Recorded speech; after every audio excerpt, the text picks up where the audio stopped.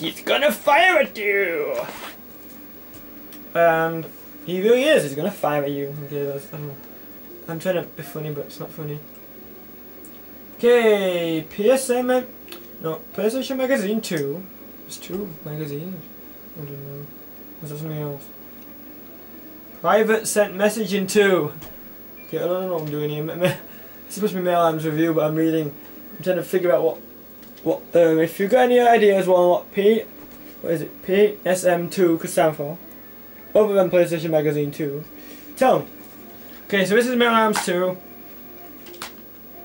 Um, no, not Metal Arms 2. One, two, one. Metal Arms Glitch in the System, and I wanted the game because I played a demo of it and enjoyed it. Uh, when I played at the beginning, it, it seems quite tricky, so I would like to get further with it and manage to, you know, get somewhere like halfway through or better, complete it. Like I would like to complete all these games, but most of these games I will probably not ever beat.